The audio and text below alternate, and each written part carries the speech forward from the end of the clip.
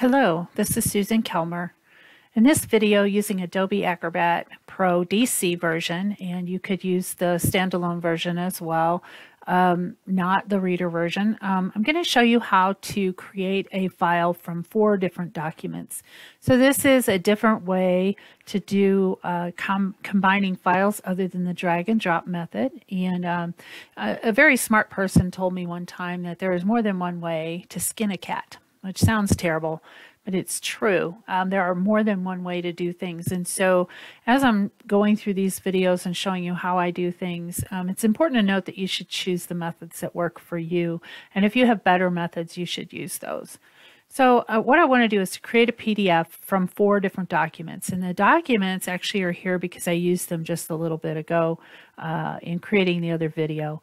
But what it is, is it's a front matter file that actually was broken into multiple pieces and that became an issue because we couldn't easily send these files to the student. Things were split too deeply and we really just want all of this front matter material back together. So there's a cover, copyright, contents, and about the author.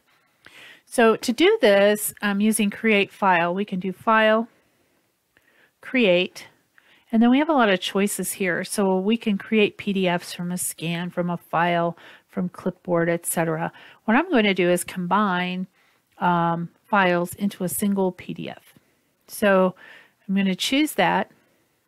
And then it wants me to add files. So I can drag and drop from my file window if I would like to. Whoops, not that one, this one. Um, so I can drag all four of these over if I want to. Yeah, you need to activate it. Um, so I can do it this way. So it's added all four of those files there. I could have also um, clicked that add files button and would have allowed me to go out and navigate to the file folder that I wanted to be in. Now I want to make sure they're in the right order.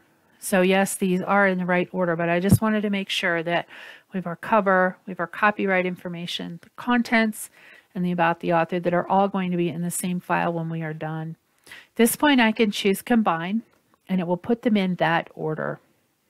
It only takes a, a few seconds or so. I can always look at my page thumbnail view to make sure everything ended up there from those original files and it does appear that they have. And then at this point, I can go ahead and save this file.